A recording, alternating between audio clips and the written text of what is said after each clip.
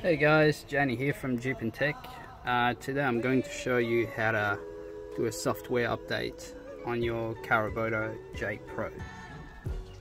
So the first thing you want to do is obviously once you got your file from Carobotor, um, you want to plug the little adapter they give you.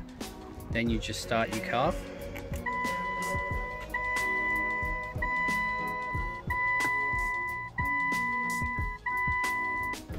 Once you've started your car, go ahead and go into settings.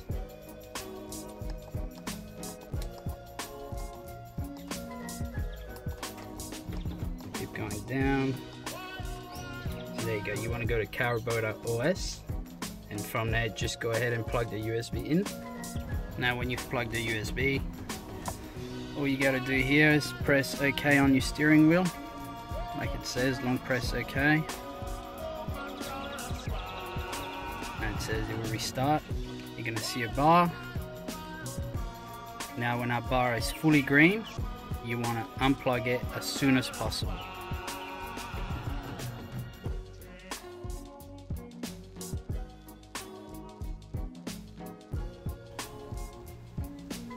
There you go. Now you can just unplug it.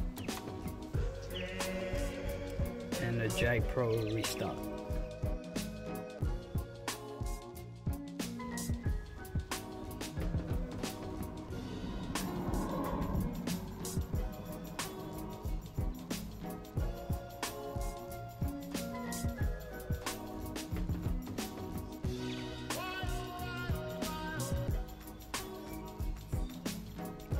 there we go.